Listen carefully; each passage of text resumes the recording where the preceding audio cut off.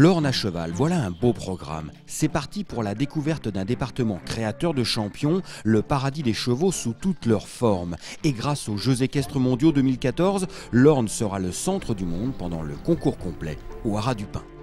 Il faut avoir un vrai mental et une vraie rage de finir les parcours de cross, surtout un parcours comme les Jeux mondiaux qui va être un vrai 4 étoiles, difficile, vallonné. Et oui, Maxime, c'est un département nature, l'endroit idéal pour faire des courses également. Un parfait exemple, les trotteurs à Bagnoles de l'Orne. Le cheval dans l'Orne fait partie du patrimoine. Il n'y a encore pas de très nombreuses années, il y avait des chevaux dans toutes les fermes. Ici, les meilleurs entraîneurs de trotteurs viennent en voisin, les Duval d'Estaing, Dubois, et aussi le double vainqueur du fameux Elite Lop en Suède, Fabrice Soulois. Dans l'Orne, c'est bien parce qu'autour d'ici, il y, a une vingtaine d'hippodromes. Vincennes n'est pas loin. Euh, il y a des bons herbages. Euh, la, terre ici est très bonne, donc euh, pour faire de l'élevage, c'est très bon d'élever par ici.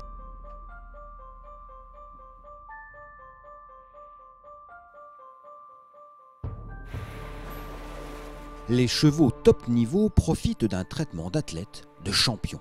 Ils ont même une piscine rien que pour eux. C'est surtout de la, mise en, de la remise en condition. Hein. une fois que les chevaux sont, sont, disons, entre guillemets, réparés, ça va permettre de les remettre en condition plus rapidement sans, sans faire trop d'efforts.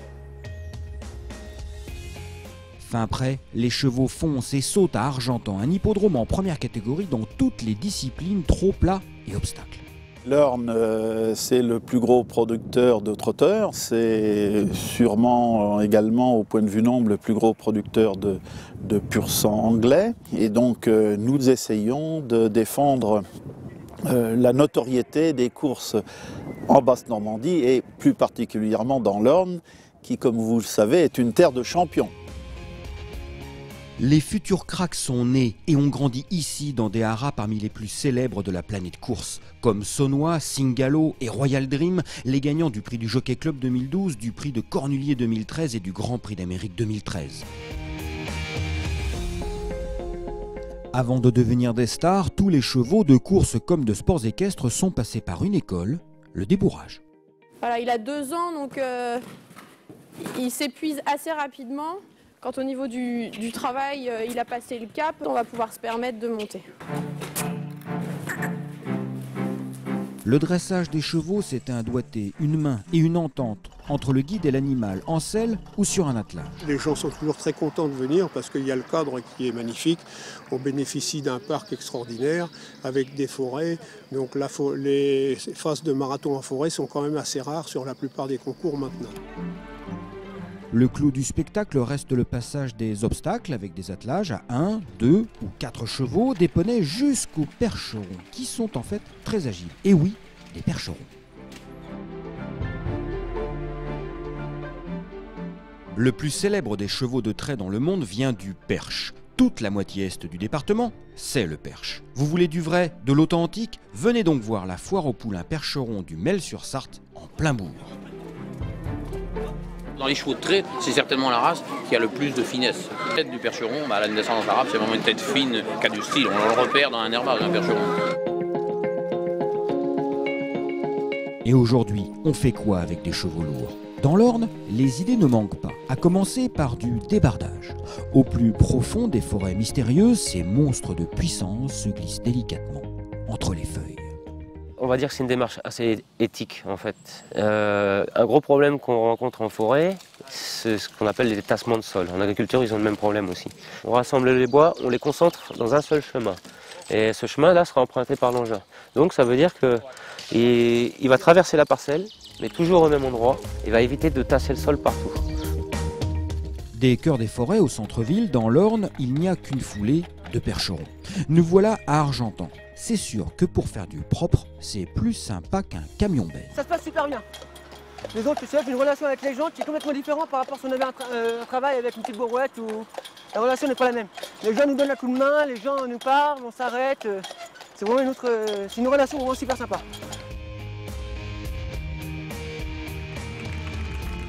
Certains font aussi des spectacles équestres avec des chevaux lourds et ça fait plus de 20 ans que ça dure en forêt d'Andenne, dans l'Orne.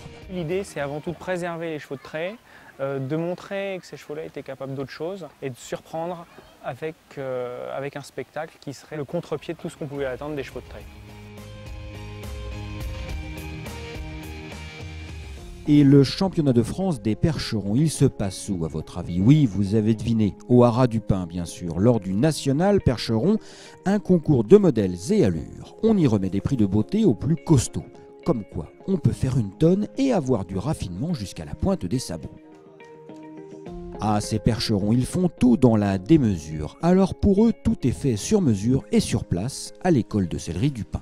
L'école du Pin, c'est une dizaine de stagiaires par an qui sont là principalement pour 8 mois et qui, grâce à leur niveau d'études antérieures, leur permettent de ne faire que de la pratique. Donc c'est 8 mois, 8 mois d'atelier. Le Haras du Pin rassemble de nombreux métiers du cheval et accueille même un équimeeting international en maréchalerie. Tous les deux ans, les maréchaux ferrants viennent de la France entière y rencontrer des scientifiques et chercheurs venus du monde entier. Premier site touristique de l'Orne, le Haras du Pin propose tout l'été les Jeudis du Pin. Une journée entière en famille. Le matin, amusé, magique. Le midi, pique-nique. L'après-midi, magnifique. Donc c'est une présentation en musique qui s'adresse à tout type de public, aux enfants qui peuvent apprécier les juments avec les petits poulains, les attelages, les chevaux spectaculaires, de voir des chevaux à l'obstacle ou en dressage, et puis des numéros de poste hongroise également, voir quelqu'un en équilibre debout sur le dos de deux chevaux, les enfants apprécient beaucoup. Les enfants aiment les chevaux, les chevaux aiment les enfants, les ânes, eux, les adorent. Les gens viennent sur le pré, ils voient les ânes, ils caressent les ânes, ils touchent les ânes. Ils s'aperçoivent que l'âne est vraiment un animal très gentil. On a environ 5 naissances par an pour avoir du lait. C'est un lait qui est très bon pour les peaux fragiles, sensibles, voire à tendance allergique. Si vos chères têtes blondes vous demandent à passer plusieurs jours avec les poneys, la réponse est toute trouvée dans l'Orne. Une semaine à Sainte-Eugénie, une expérience inoubliable. Il y en a, ça les a marqués, ça dans leur vie professionnelle ou dans leur vie d'adulte, ils, euh, ils sont imprégnés de ça. Ils sont, euh, quand on les revoit 10-15 euh, ans après, ils, ont Sainte-Eugénie, c'est quelque chose. Ils nous ramènent leurs enfants.